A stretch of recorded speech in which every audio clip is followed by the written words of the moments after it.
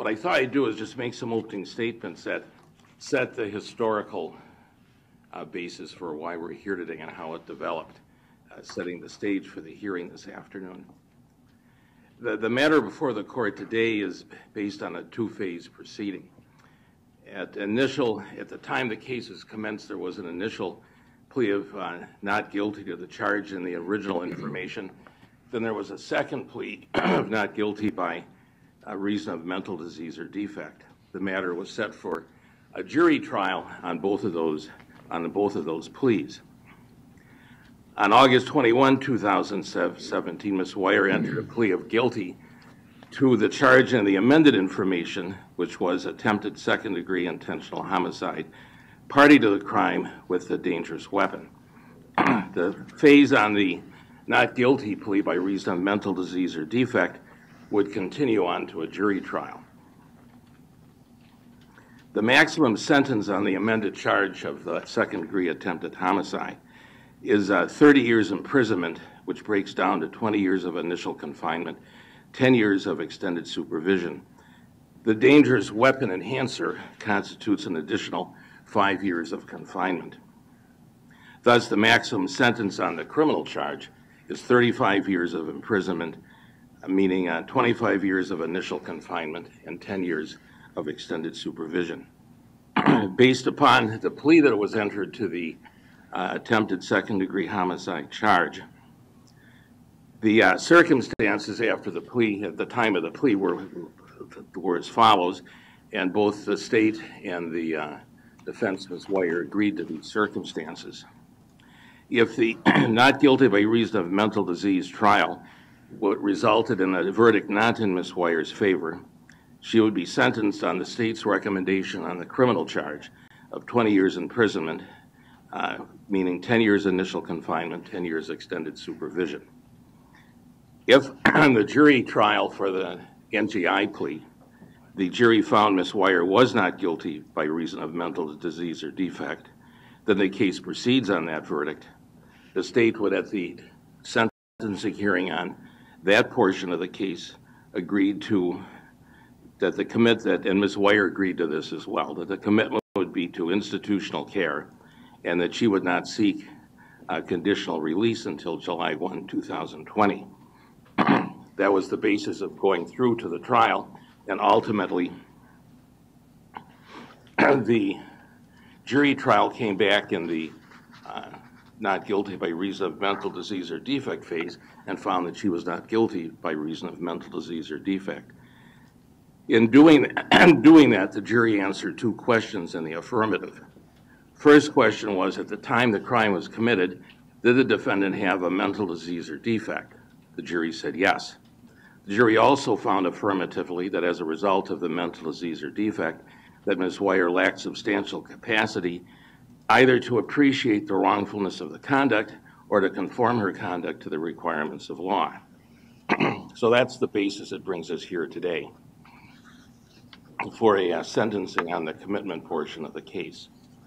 From that standpoint, does the uh, state have anything to comment upon or state with regard to the sentence? I think what you stated was correct and accurate, Your Honor. All right, thank you. Does the defense agree with my comments? Yes, sir. All right. Then does the state wish to make any statements as to the sentence? Yes, Your Honor, thank you. As you just pointed out, the, in return for the amendment, the agreement is that the defendant will agree to institutional care not to seek conditional release until July 1st of 2020, which really, and, and in terms of the institutional care, as you know, because you have in front of you, the predispositional investigation also agrees that institutional care is appropriate. So I don't think there's much of an issue there. The only real issue that's left remaining is how long should the commitment be? As you know, the maximum commitment is the maximum period for which she could be confined, so it's 25 years. And that would date back to the date on which she was taken into custody, which is the date of violation in this matter, so back to May of 2014. So then we'd be looking forward to 25 years, or looking forward, 25 years from that date would be the maximum term of commitment. You have received a victim impact statement from the victim's mother, Stacy, I can tell you that no one from the victim's family wishes to orally address the court at this time. They're all relying, they believe that Stacy's statement is accurate and accurately reflects their feelings also. So it's, even though it's signed by Stacy, it's more of a, a family-wide victim impact statement, I guess is the best way to put it. So then, as I said, we're left with the question of how long should the commitment be? The state believes that the maximum commitment of 25 years is appropriate. That would take us to 2039 at a point in time when the defendant would be 37 years of age. I guess my first thought is that considering the nature and gravity of this offense, being supervised until the age 37 is not all that long, given all the facts and circumstances here. It may be a long time in some respects, but it's not a long time in terms of the fact that Payton is looking at a lifetime of scars and psychological scarring, physical scarring that she's going to have to deal with. So saying that 25 years is a long time pales in comparison to that. As, as you know from Stacy's letter to the court, Payton still suffers. She can't leave her drapes open. She can't leave her windows unlocked. This still affects her. But yet, in spite of that, and in spite of her young age, she believes, which is, as was noted in that statement, and why the reason we agreed to this plea agreement, she believes that Anissa needs institutional care. Well, I don't know, frankly, how much time Ms. McMahon is going to argue for. State's thoughts on this is real simple. The maximum commitment, considering the lifetime of suffering that Payton looks forward to, will help her to derive a modicum of solace, knowing that at least for those 25 years, or what's left of those 25 years, that someone will be looking over Anissa's shoulder so that she doesn't have to worry that Anissa is looking over her shoulder.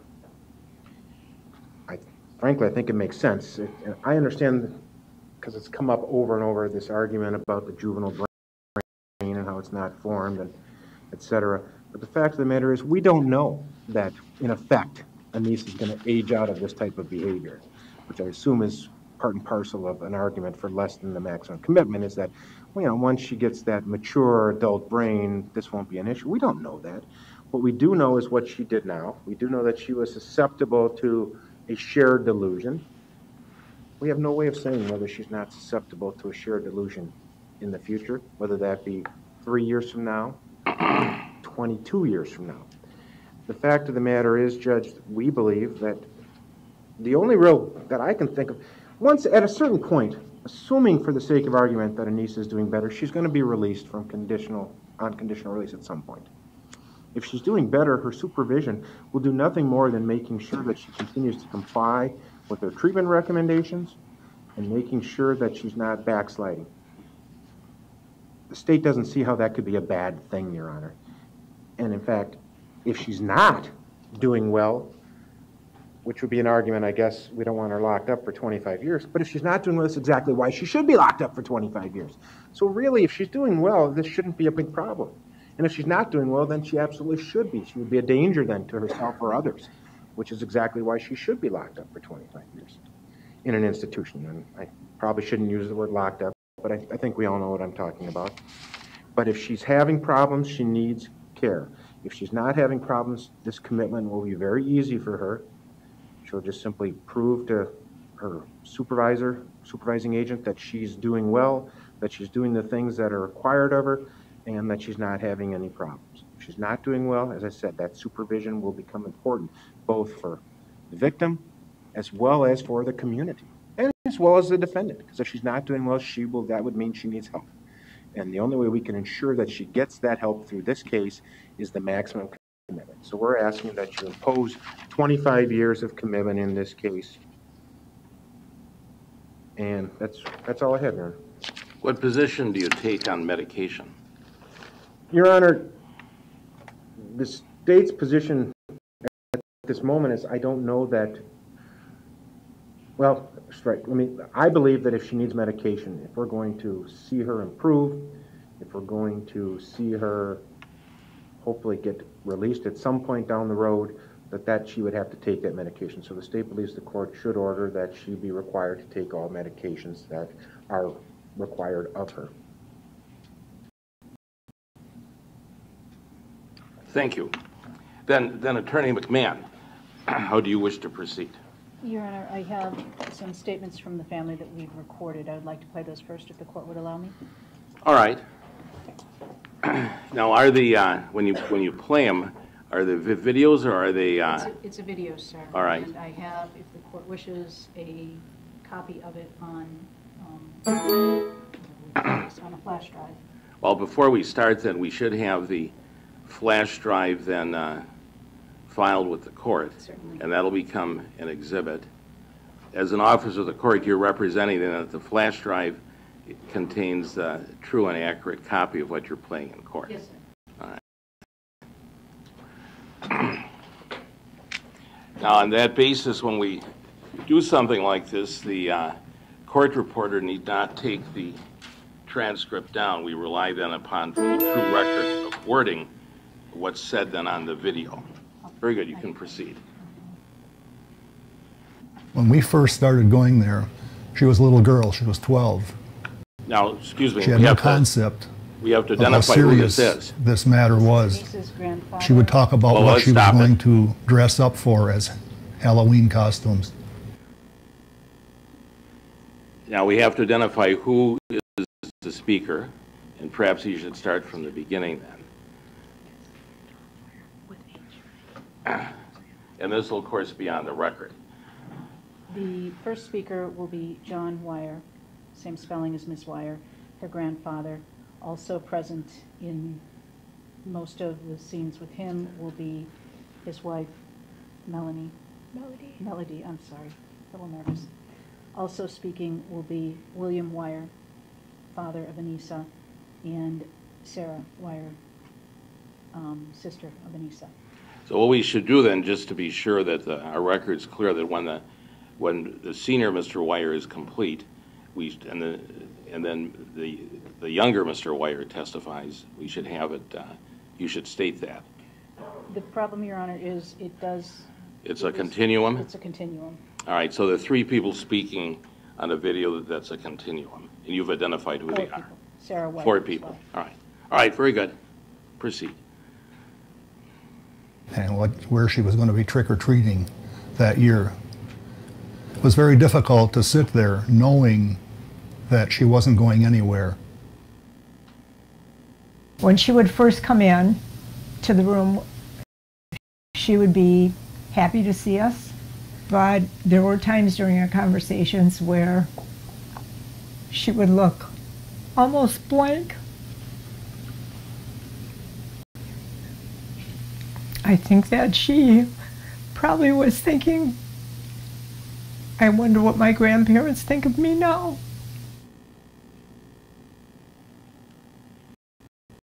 There have been times when she said, I don't know why I would have done this.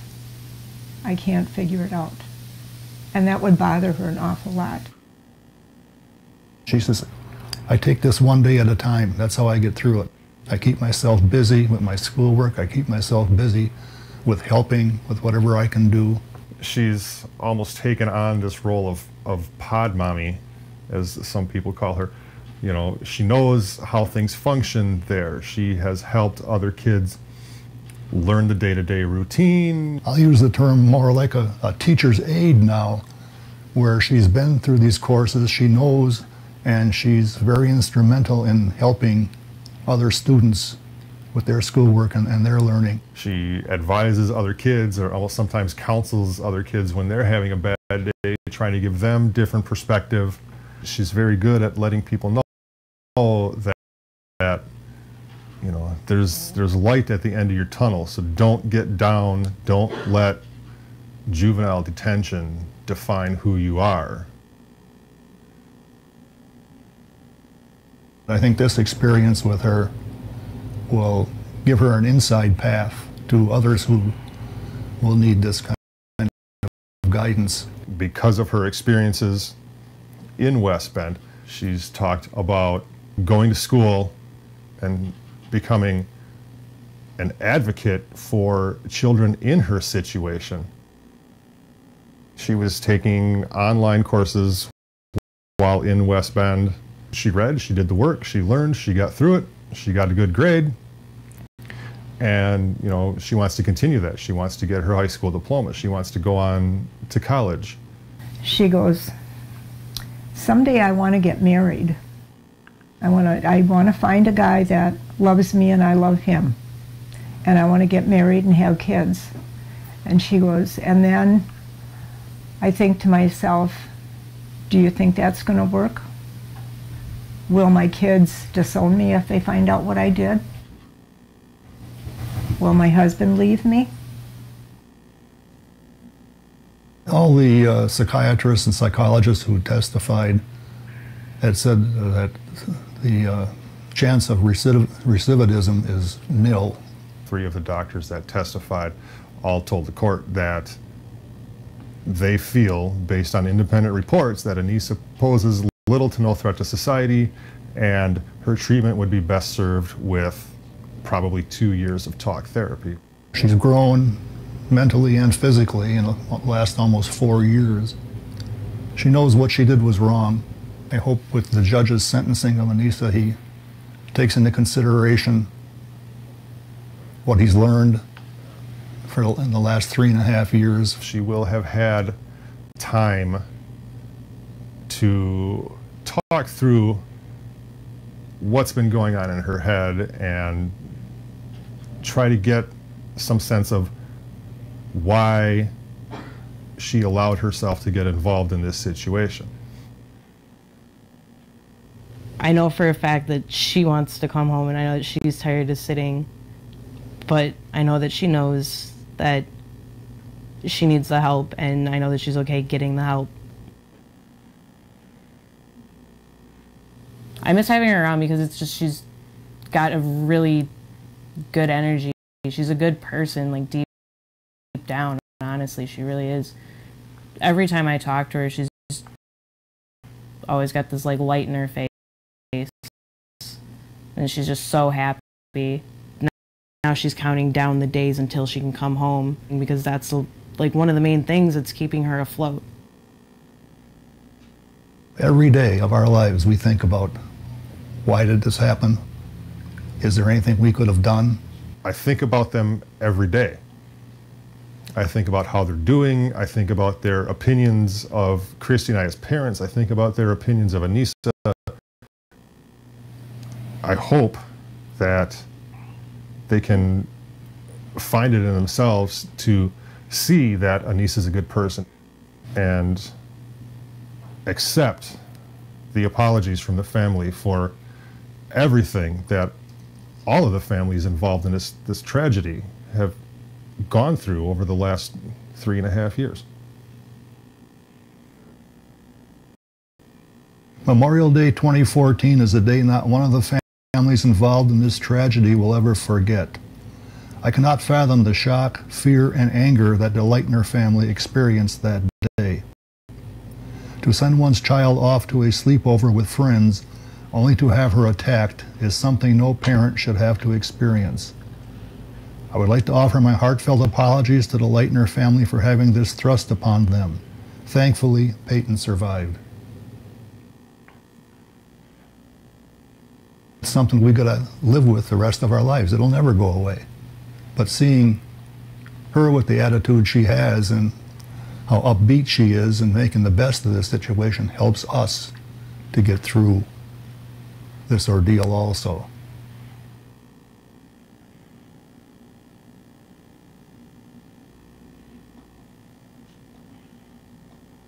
When we first started going there, she was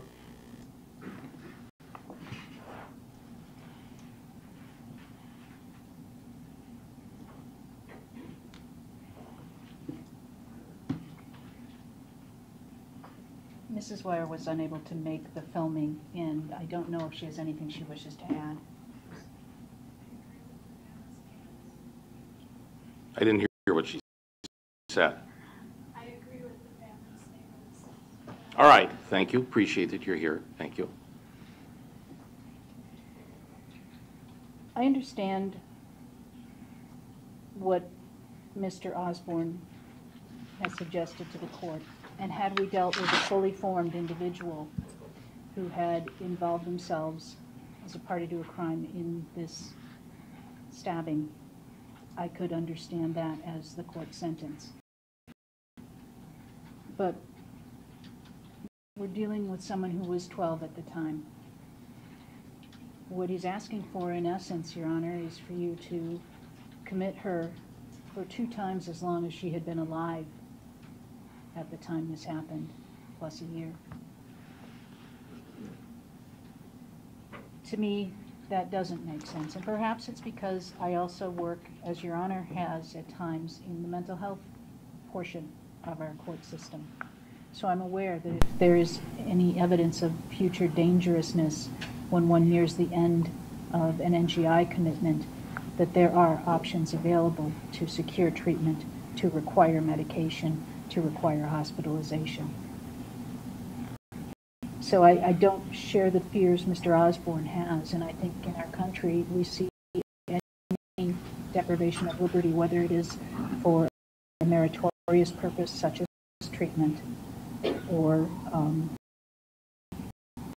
simply for punishment. We don't do that without reason and without measure. And one of the important reasons behind doing limiting the amount of time one controls a person is frankly the other persons to whom you expose them. The evidence-based practices that have become common in our criminal justice system have come over from the human sciences because of important information, like the more you expose someone to more seriously criminal individuals, the more likely you are to harm that person and harm their behavior, not help it. That's why in criminal cases, probation is the presumptive in the beginning. And that's why our probation departments have begun dividing up who comes on what day to their office to avoid exposing low-risk offenders to high-risk offenders. Because as our mothers told us, it's not you I don't trust, it's your friends sometimes, and the choices you make when you're around them. The reality is, Anissa is going to be in a hospital setting for quite some time. And when the state asked us to stipulate to that, that when within the statutes there are provisions for people seeking release and is supposed to be based upon doctor recommendations. Our, our young client was the one who said, no, they're right. I need that. She talked about how she had been away from normal society for so long that when they when her parents were allowed to bring a treat in to a visit that required the use of a fork, they had to teach her how to use it again. Because in secure detention, that's not a utensil they have access to. when you look at that, this child sat there and explained to us that she needed help learning not only to deal with the nightmares that don't allow her to sleep, with the fears and the concerns she has about could I ever do this again? What do I need to do to make sure that nothing like this ever happens again? She felt she needed that time in the hospital. Your Honor has perhaps more information about this young woman than most persons who will ever come in front of you or any other judge, given the reverse waiver hearing, the competency evaluations, the Miranda Goodchild hearings, looking at both her functional abilities, her intellectual abilities, her mental health issues, and her behavior while maintained in a secure detention facility without medication for 1,301 days now. Many children slack off. I, What, how many days did you say? 1,301 if you count today. All right, thank you. I noted that one of the media outlets reflected that my client had developed quite a sense of humor when you had asked her about school one time and she informed you quite proudly that she went to school every day. Um, the court is aware and, and those of us who work with children who are incarcerated know that sometimes, depending on where you are, if you're incarcerated and you refuse to go to school, it counts as a mark against you, but they don't force you to go. She chose to go because school is important to her, because learning is important to her, and she knows it's important to the court. She, when trying to figure out where her life will take her from now, she knew that there were two options. One would be a hospital, and she knew that Winnebago, because she discussed it with us, was where generally females are sent on NGI, or Copper Lake until the adult system.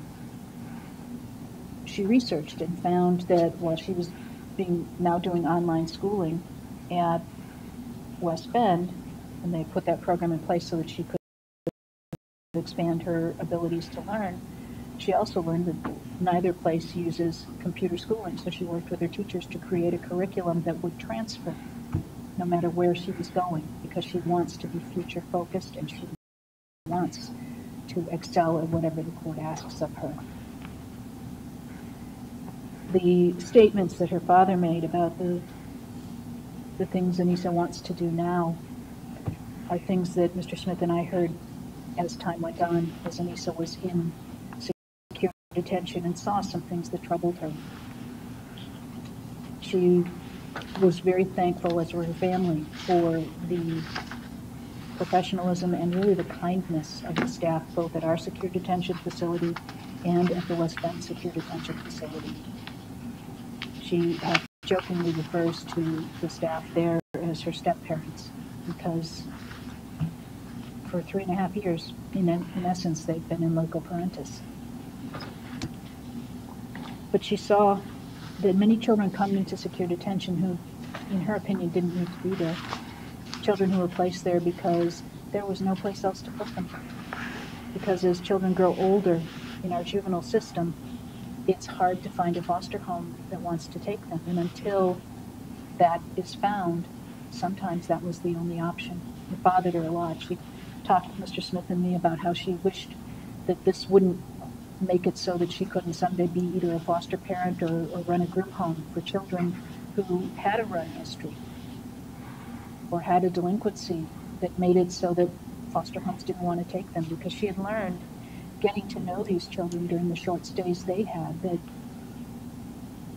they were good children. They just needed someone to believe in them and someone to have their back. That troubled her a lot. It still does. I think it troubles a lot of us who work in the juvenile court system. But to have this child who was facing so much on her own see how unfair that was to other people. That was impressive to me. And it also reflected a change in who she wanted to be and what she wanted to do when she was older. She did a little pamphlet when she was, I believe, in fourth grade. Um, she was 10 years old when she did this. It's called My Life. And I have a copy for the state and for the court. Simply because it gives you a picture of Anissa Weier two years before this happened. She could have been anyone's child.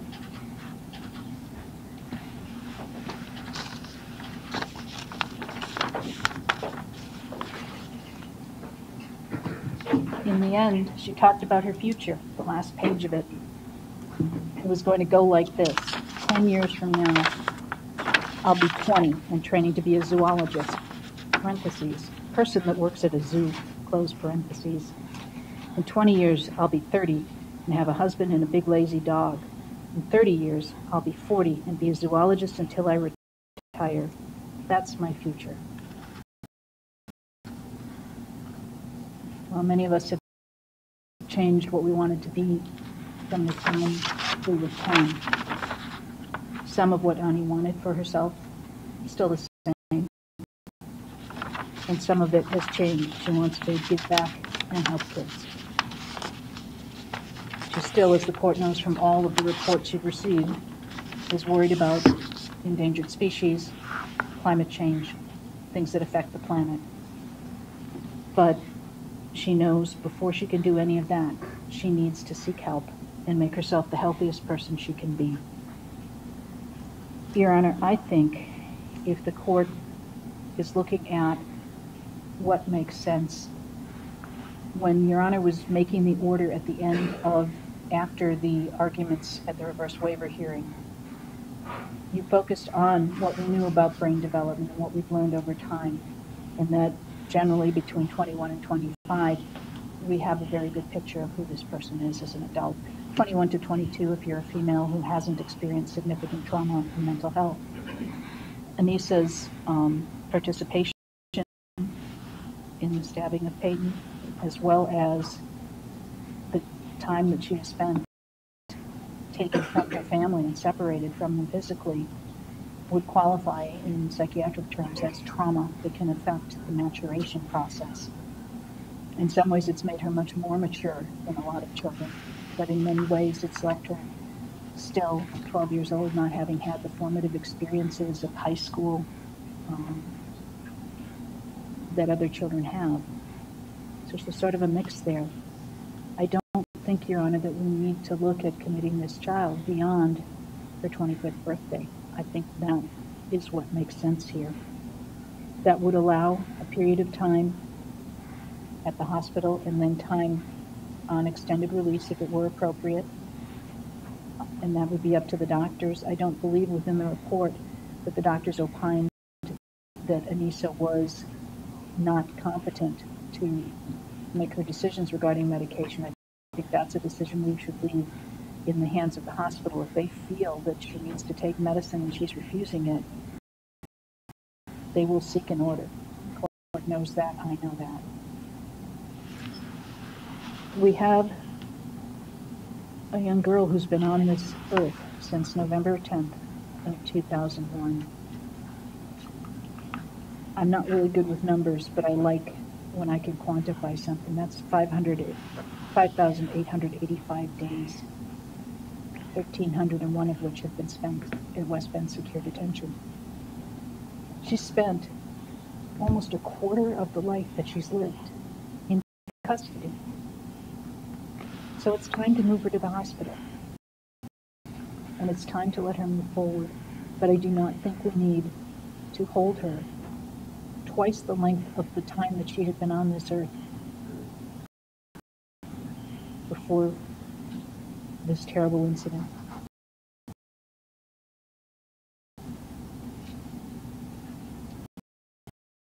I want to thank Mrs. Leutner for her letter. The terrible pain it expresses for their family. I know that my client is is beyond sorry for. And she knows that she can never fix what happened. She can never change what happened, but she can work to make sure she's the best person that she can be to honor Payton. I particularly made sure to share with Anissa the last paragraph. The fact that Payton wanted her to go to the hospital. That the reason the family was willing to accept what we had talked about as a, as a plea deal was because their daughter wanted these two girls, not just Anissa, but Morgan two, to go to the hospital and get help. It tells an awful lot about what a wonderful child Payton is. And is something that I think was probably one of the kindest things my client has heard in three and a half years. It made her cry, but it, I think, was healthy and healing for her to be able to hear that that was what Payton wanted. And she knows that it is unlikely that Payton would ever want to have contact with her again, and so she will stay away from her. She has, in the past, after we had talked with her about some of the options the juvenile system or offers, one of which is oftentimes victim offender mediation, that's been used also in adult systems um, at times if if the Leutner family ever wanted that and felt it would be healthy for Payton, she needs that or wants that. Anissa is more than willing to participate in that. She knows it's not likely, but if that was something that would help Payton, she would do it. So, Your Honor, I am asking you to consider the amount of time already that she has had in custody. Mr. Osborne says, well, we don't know who she is, who she's going to be.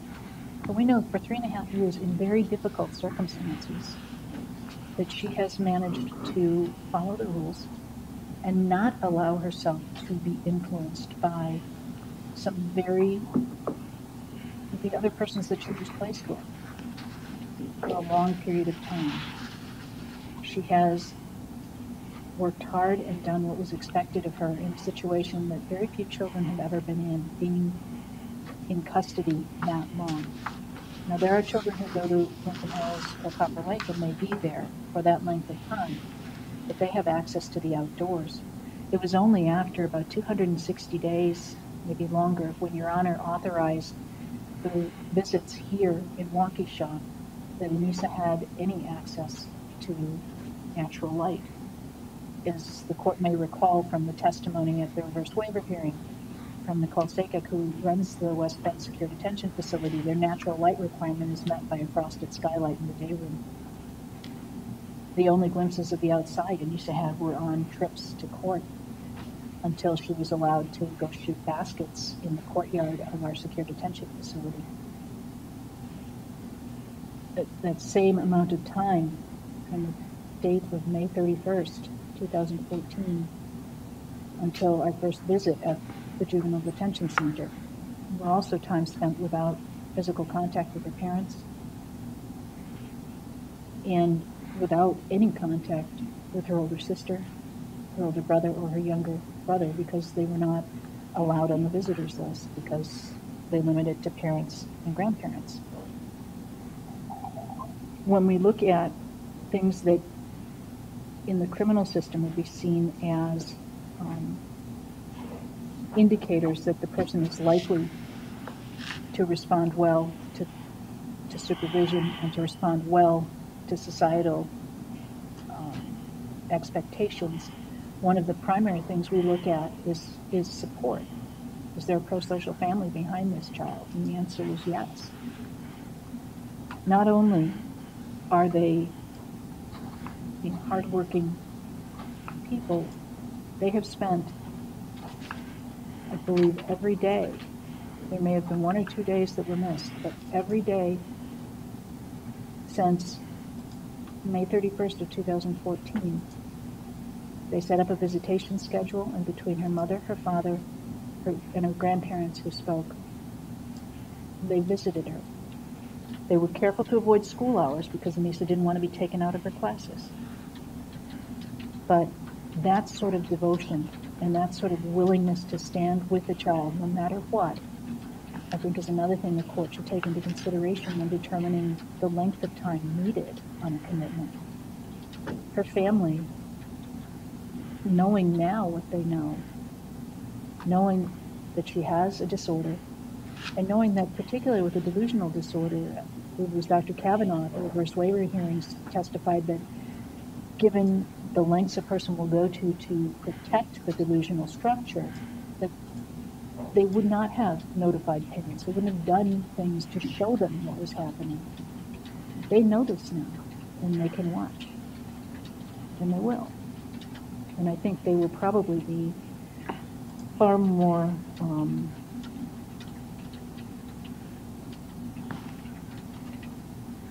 far more and long-standing support for to keep her on the right path. So, Your Honor, given how long she was spent in custody, how young she was at the time, the remorse that she has shown throughout this, I would ask you to consider allowing the commitment to end on the 25th birthday. I think that makes sense. and I'm hoping that you will do that. All right, thank you, I appreciate your comments. Then, Ms. Weier, do you want to say anything?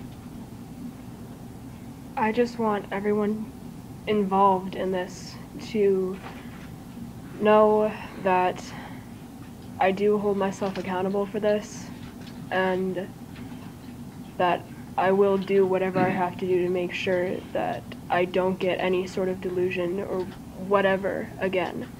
And I want everybody involved to know that I deeply regret everything that happened that day and that nothing I know that nothing I say is going to make this right, Your Honor. And nothing I say is going to fix what I broke. I'm just hoping that by holding myself somewhat accountable and making myself responsible for what I took part in that day, that I can be responsible and make sure this doesn't happen again. I'm never going to let this happen again. I'll do whatever I have to do to. I'll do whatever I have to do to make sure that this doesn't happen. And I know you've heard that before, and you're probably going to hear it again. But it's the truth. And I'm sorry.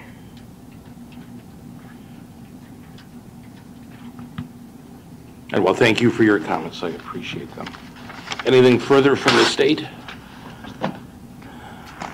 No, Your Honor, my stand. I don't think that, obviously, they're not the same as Ms. Camp, but I don't think she said that I do really need to comment on, other than the one thought I did have is that 25 is not a magic number in this whole case. I say we should go till 25. That- Maybe an average day when the juvenile brain is fully developed, but it's just a day. So I think, though, that the supervision that would go till age 37 is much more appropriate for all the reasons that I. All right, thank you. Then Ms. Then Ms. McMahon, anything further? No, Your Honor. All right, thank you. As was uh, noted, the court did receive the letter from, from Payton's mother, Stacy Leutner, and I've read that and been distributed to the parties, so I'm aware of its contact, content.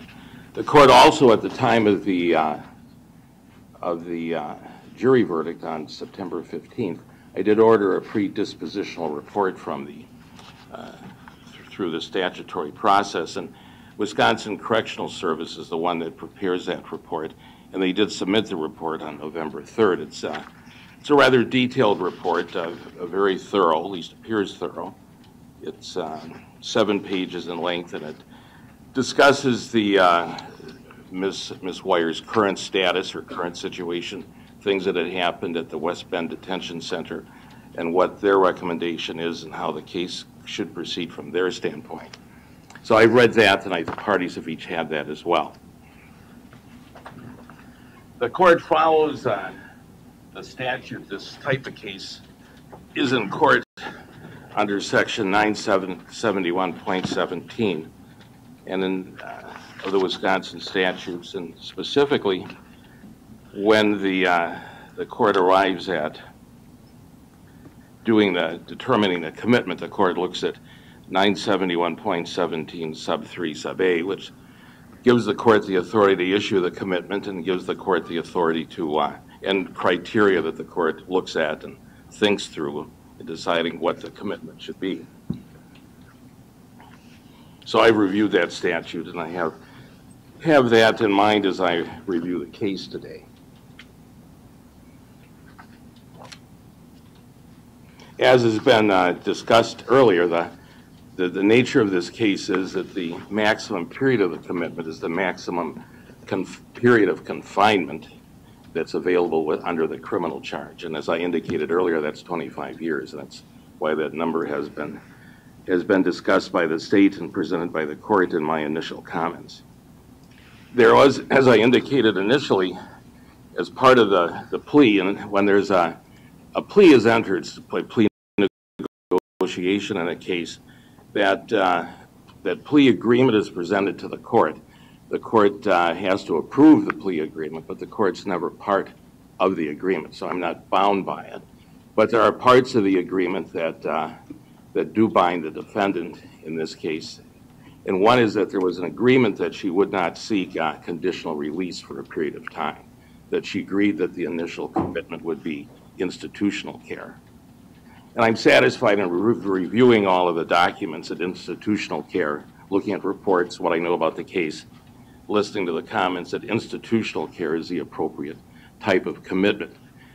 So I recognize that, uh, that Ms. Weier has agreed to that, but I also find by clear and convincing evidence that the, uh, that, that the conditional release of Ms. Weier would pose a significant risk of bodily harm to herself and others.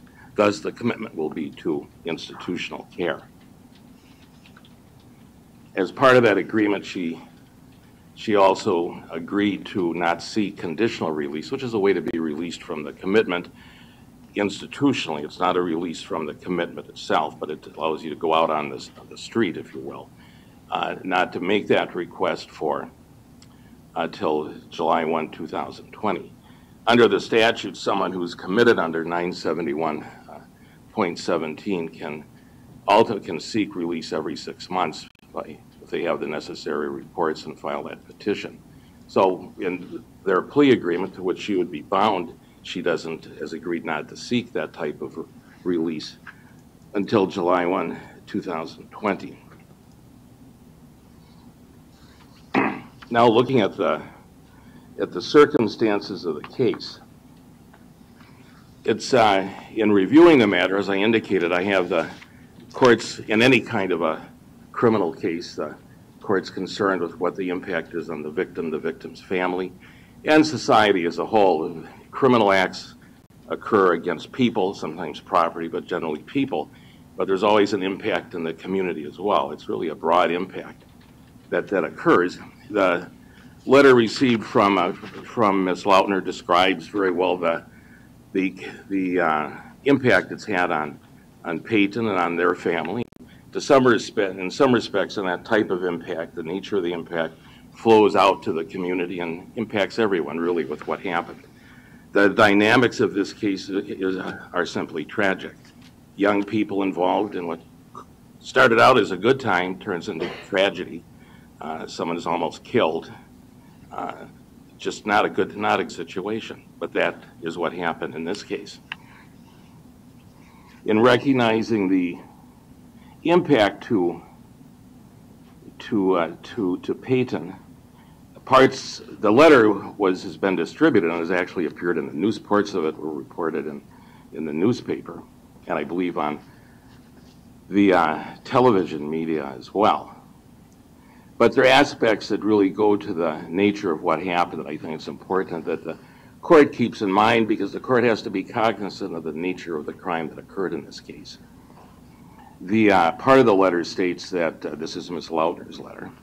States the 19 stab wounds that Payton endured that day left 19 very visible scars on her arms, her legs, her hip, her torso, and her chest. The nearly six hour surgery and other medical treatments to repair her heart, diaphragm, liver, stomach, and pancreas left six more scars. Two of these scars span from just below her neck to just below her belly button. Uh, it goes on to discuss some issues with regard to the scars, but then it talks about something that's almost a very practical result of, of that, those type of injuries, and that is shopping for homecoming dresses leaves only a few options because far too many dresses will show off her scars. Beach vacations are harsh reminders that swimsuits aren't made for young girls with 25 scars. So we have the physical injury, but then you got then this other part of it that it's what always reminds Payton and her family would remind others of what happened. The scarring and how to uh, disclose it or shield yourself from it, shield others from it.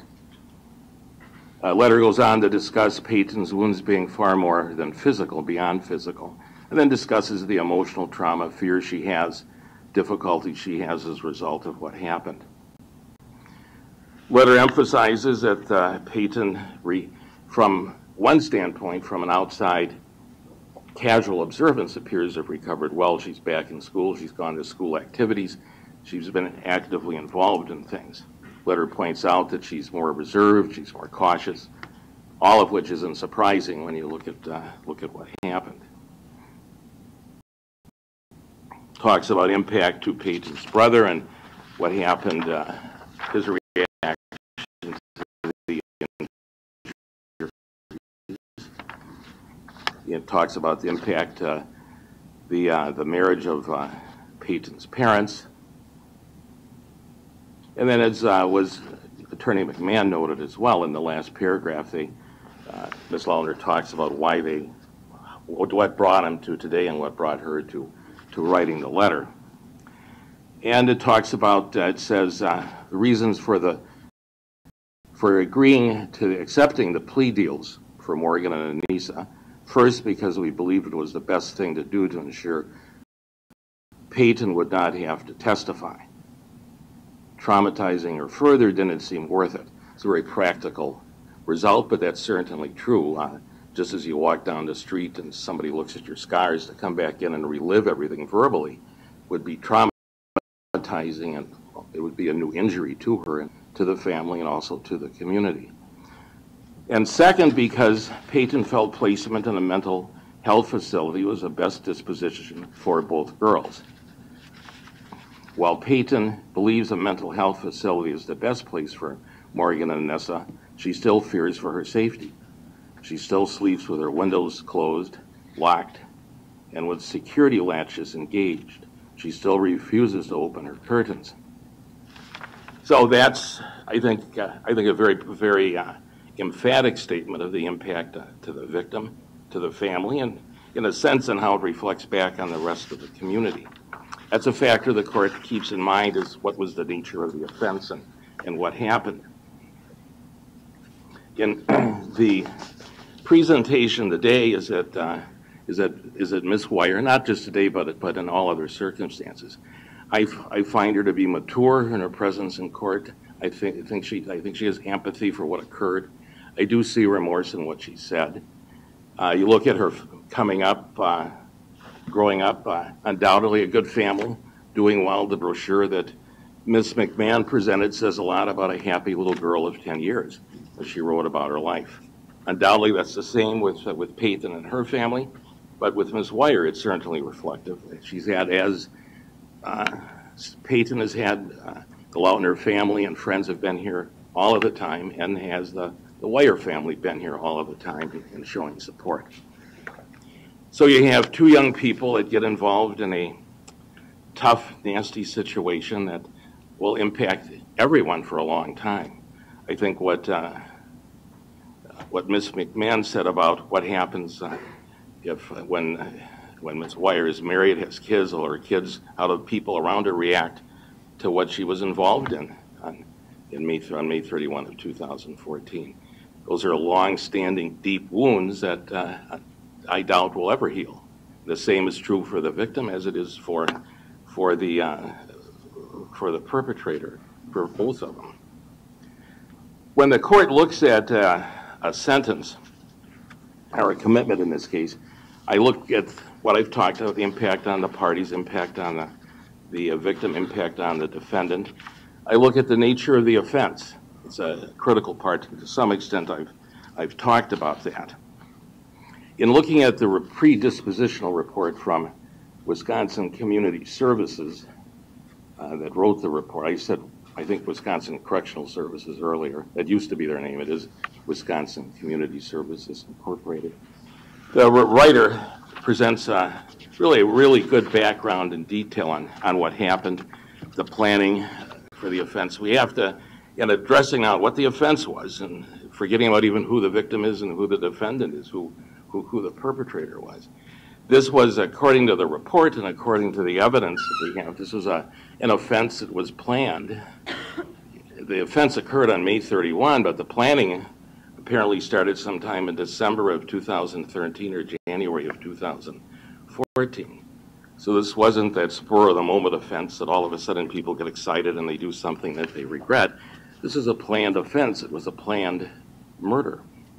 Can't forget that the effort in this case, the goal of this matter was to kill the victim. It wasn't to wound her, it was the killer.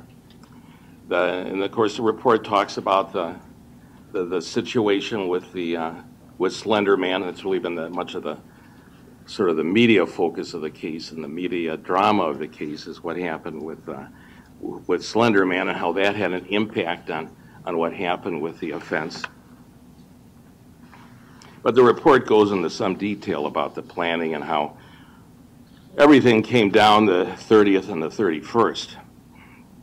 What the report, and we've, that's been in the news and been the subject of much discussion, but it's only something I have to keep in mind and when I decide what the commitment has to be. I look at the nature of the offense, what happened. Uh, the planning part of it is important. Uh, the, uh, the serious part of it, the serious nature of it, the, a planned murder by kids. You know, I can say a plan, murder plan for months, and it sounds like I'm talking about some some organized crime operation, but these were kids doing that. The impact is the same, but it's still got to keep in mind the age of the parties, and I certainly do when I reflect on what the best commitment is on Miss uh, on Miss Weier's young age. In the report, the report goes on to review, begins a review of the uh, Miss Weier's current psychiatric uh, emotional status, and does so by first looking at the three reports that were three expert witnesses that testified at the uh, at the jury trial and, and their various opinions. The report goes on to look at Dr. Michael Caldwell, uh, opined that Ms. Weier was suffering from delusional disorder, persistent depressive disorder. Her delusional disorder was more likely by her underlying schizotypal disorder. Ms. Weier exhibited a cohesive system of delusions about the existence of a supernatural evil things that would control the thoughts and actions of others and commonly kill children and their families.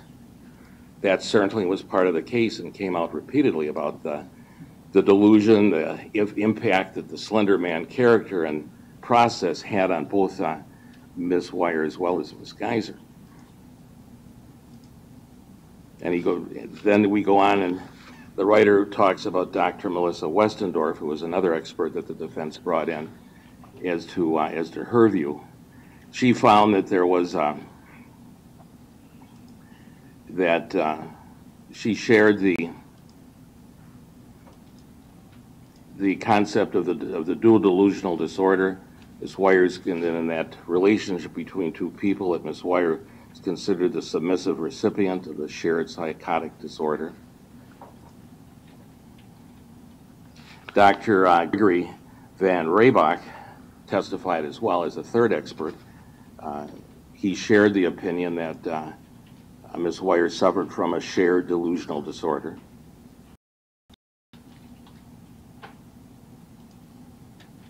He found and wrote that she became ensnared in a false belief that was constantly reinforced within her relationship with her friend and could not at the time of, of the crime distinguish between those false beliefs false beliefs and reality. So those are the reports that uh, became were part of the jury trial. They were formed the basis for the jury verdict in this case. But that's the psychological, psychiatric, mental health background that brings us here today. The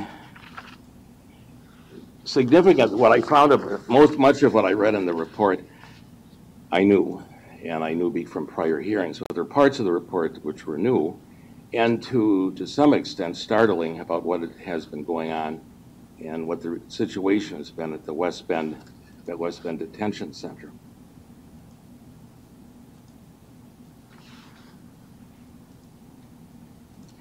The, uh, in a section titled Psychiatric History, of course, it's reported, Ms. Weier reported that she struggled with depression since around 10 to 11 years old when her parents were going through a divorce. For about the last year and a half, now that's the letter, this report was written in November, so it's going back to uh, 2016.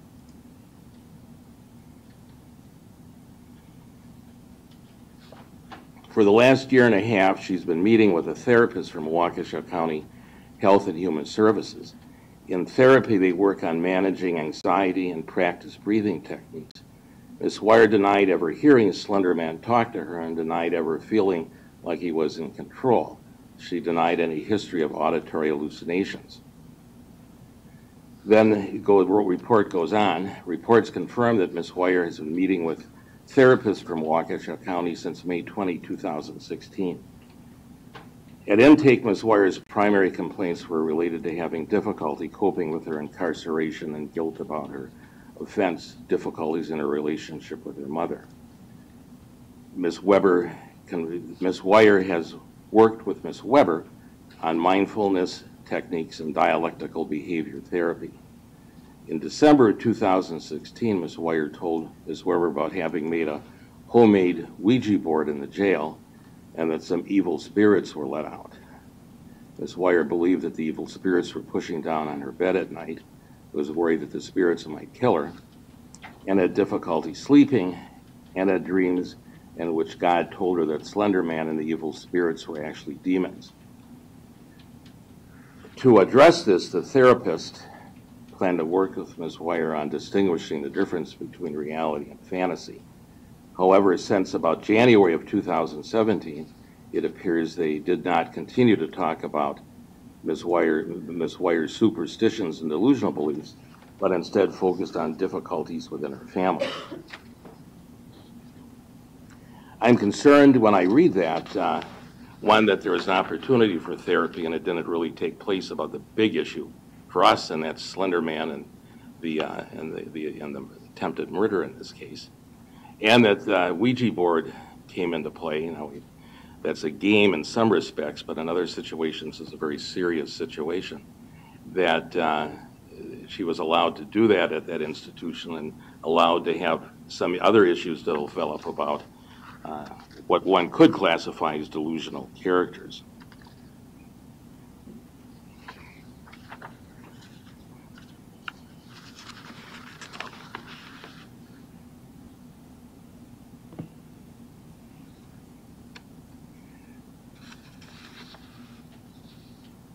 She acknowledges that uh, she believes that Slender Man is, in a part of the report, she told the, uh, the writer as well as the therapist that she believes Slender Man is real, sees him as a demon, tries to address him in that fashion. The writer of the report ultimately recommends institutional placement and believes that she, po- and quote, the conditional release team recommends institutional placement for Ms. Weier and believes that she still poses a risk of harm to herself or others at this time. Under the shared delusional belief with her co-actor that Slender Man would harm her or her family if she did not carry out his wishes, Ms. Weier took part in the violent stabbing of a childhood friend. Ms. Weier continues to believe that Slender Man is real. She also stated that as recently as July 2017, she believed that an evil spirit was pushing down her, on her bed after the spirit had been let out of a homemade Ouija board and that, she, that she'd been playing with. She has continued to be easily influenced by peers. She has been convinced by another inmate who was a devil worshiper that her co-actor, meaning uh, Miss Geyser, is possessed.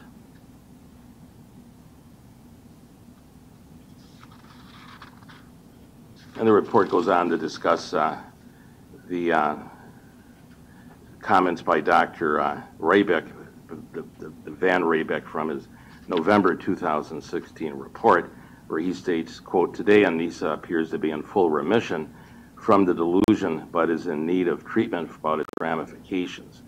She will need treatment concerning the genesis of the behavior, the behavior itself, and the trauma and distress about attempting to take the life of, of another human being.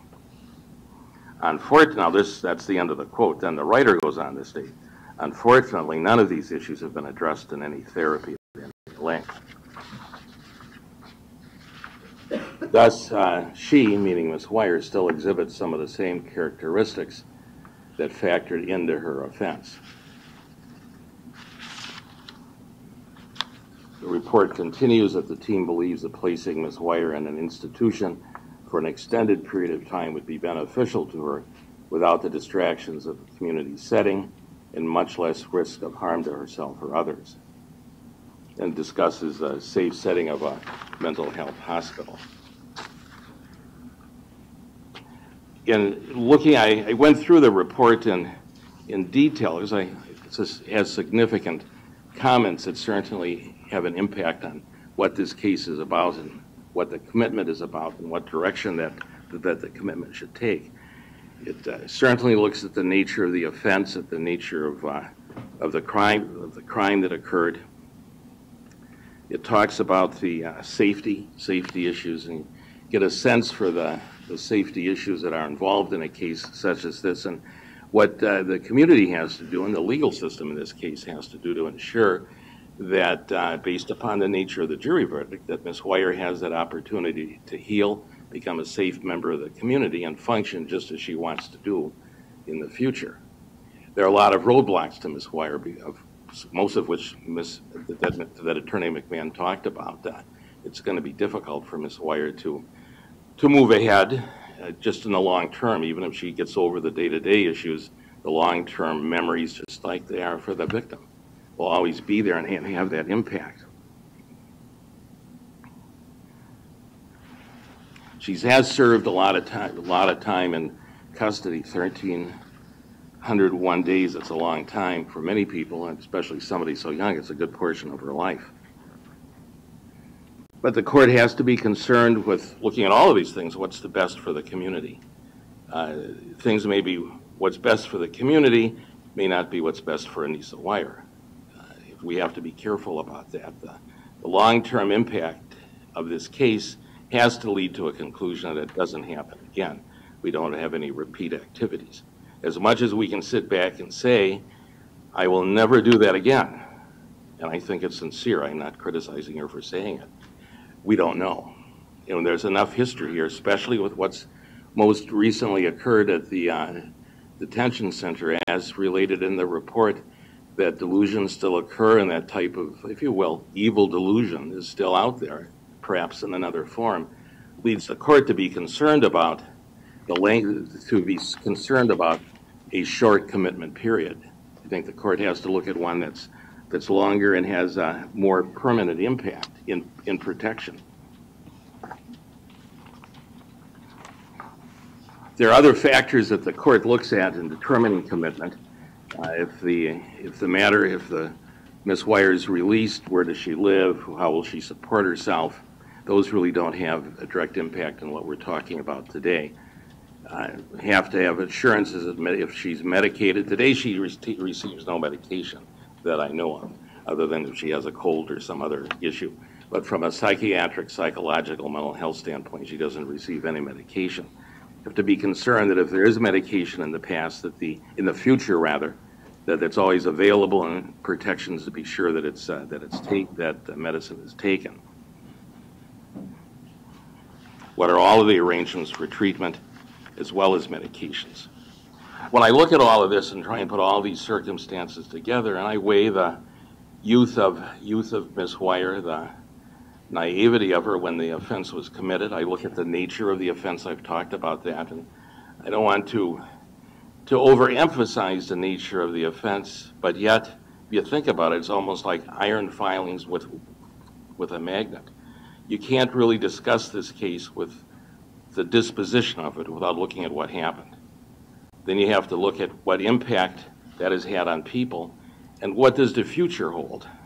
When I look at the um, and read the report, the predispositional report, I'm very concerned about the near future with uh, comments about the Ouija board and the delusions and the demons. Uh, that she has, that tells me that Ms. Hoyer still has issues that we have to be concerned about.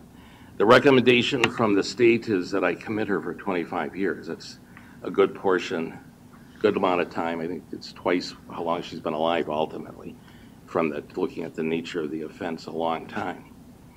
The uh, Attorney McMahon argues and argues pers- persuasively that the court should look at a shorter period of time and look at to uh, age 25, uh, which would be uh, obviously sh- tw- 12 years less than the state talks about, but still a long period of time for someone to be supervised and watched.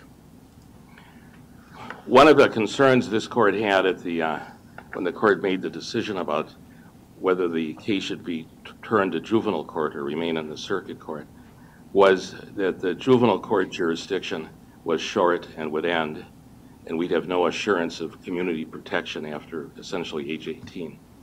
That uh, when keeping the case in the circuit court, which is where it is today, allows, allowed the system to go forward as it has uh, with his, with his jury verdict, and allows for long-term supervision and control. Although the commitment is long, that the state proposes, and that actually, that, that what Ms. McMahon proposes as well, both are long times uh, in, the- within a, within a system. The, uh, the, the person that's committed has the ability to ask for conditional release as the, as the, her system and as her uh, mental health situation improves. There are many people out on our streets today that are released on that, that have conditional releases. They have mental health issues, they've been committed in the, through the criminal process, not through Chapter 51, but through 971, and they're out on the street on a conditional release. They're watched, they're supervised, they go to work, they function, many of them raise families. So the long commitment isn't, isn't sort of being, being confined to the black hole of Calcutta for as many years as the commitment is. But it says supervision, it says control, it says monitoring. When I put that together into the mix, I'm satisfied that the maximum commitment is what's necessary in the case for all the reasons that I talked about. I'm not going to go back and re- relive those circumstances, but I, I believe to maintain safety, to maintain protection to the community, to maintain protection for Payton, so she has the resources of the community to assist, or rather for, uh, for Ms. Weier, that she has the resources available to protect her in the future, be sure that it keeps her out of trouble if there's going to be trouble, and if it's not going to be trouble, that can be resolved through the system. But it gives the community assurance of safety and protection. It uh, gives Ms. Weier that opportunity to, I think, to proceed and to become a functioning member of the community. The purpose of our legal system, in particular a process such as we're in today, isn't uh, simply to put somebody away and not permit them to grow and to live and to adjust. I'm satisfied that uh, Ms. Weier can do that. She will do it. But she has to do it keeping in mind, as I think she knows, of what happened and the community's perception of what happened. So I'm satisfied the 25-year commitment is appropriate. I'll order that. So ordered. There is 13, there's a request for 1,301 days credit. Any objection to that?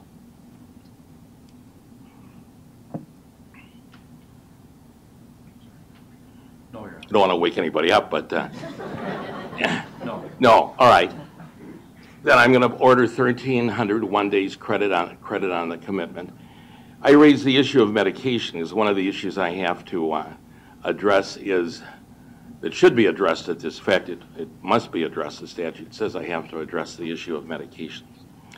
At, uh, the state says I should order the medication, Ms. McGann states that, uh, indicates that I, I should not. From, uh, from Attorney McMahon's perspective, there is no medication in this case, there never has been. Correct, Your Honor, and so no doctor has sat down with her and explained the benefits and detriments of medication and made a determination whether or not, as is required under our laws, whether she has the ability to make that decision herself. And until such time as that happens, I don't think we should order it. If the hospital needs that order, they are not shy about seeking it. Any comments from the state? No, Your Honor.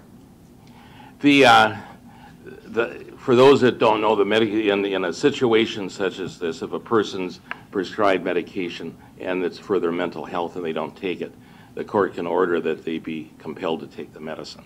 That's the medication order. The statute says I have to review it at this time. There, as I indicated, it's never been medication administered in this case. There's no outstanding, if you will, controversy about the use of medication. So I'm not going to order medication at this time. That it be administered against her consent at this time. It'll still may be administered. If there is an issue, the institution will, uh, will, will bring it back. With that, then I commit, uh, that, I commit Anissa Weier to the uh, Department of, of Health Services for a period of 25 years, subject to the uh, credit that I've provided, subject to the order that I'll issue. I'll order that she be uh, transported to uh, the Winnebago Mental Health Institute today. Your Honor, I don't know that Winnebago Mental Health has an opening today. I tried to reach their um, intake unit to determine that. I spoke with um, Matt Ziegler, who did the report for WCS, He indicated that generally what he has seen is there's approximately a week wait time. They're in part, I think, because they generally need to make sure that um, blood draws are done, things like that, to make sure that the person is medically stable to come into the, into the hospital. You may know more than I know on that topic. What I do know is that the court did speak with uh, the, uh, one of the officials at Wisconsin Community Services, and uh, with the thought that uh, Ms., if, that the court would at least follow the recommendation through the plea agreement that would be a commitment to Winnebago, that if it, uh, regardless of the length, she'd have to be taken there. And we were told they would expect her today, and I think the Okay. sheriff is prepared to uh, transport her there. Okay. um, and- Now, that doesn't mean I want Ms. Weier traveling about the state, No. because I know that's happened in the past. Uh, We've ordered people to go to Winnebago or other institutions, they get there and the institution won't take them. So we will fax the, uh, we will fax the orders to Winnebago as soon as the hearing is complete, and we'll verify that it's appropriate. Does the, um, do you want to meet with her family and her today? Um, If we could, Your Honor, I do have to run over to Branch 3 for a matter, um, but then I could join them over at the juvenile center. Well, I'm going to order then that, uh, as an interim uh, matter, that uh, Ms. Weier be transported to the juvenile center. She can meet with her family, as she has in the past, and that she'll stay there till 4 o'clock. At 4 o'clock, then she'd be uh, transported, and we'll verify what the location is. And if she is, if Winnebago does not have the opening today, um, we had anticipated that she would go back to West Bend, and that's why West Bend didn't send all of her things with her today until she could be taken to Winnebago. Now, that, they didn't bring all of her things with her? No. No, all right. Well, then maybe it's bad, well, we'll verify with Winnebago what the approach is, and we'll take that. Otherwise, the order is that she be transported to the juvenile facility here to meet with her family and attorneys, and then by 4 o'clock leave to either return to West Bend or to go to Winnebago. Thank you. Now, you'll explain to Ms. Weier her appeal rights? Yes, sir. All right. With that, then, anything further from the state? No, sir, thank you. Anything further uh, from Attorney McMahon? Not at this time, sir. All right. Well, thank you, everyone, for being here. Have a good day.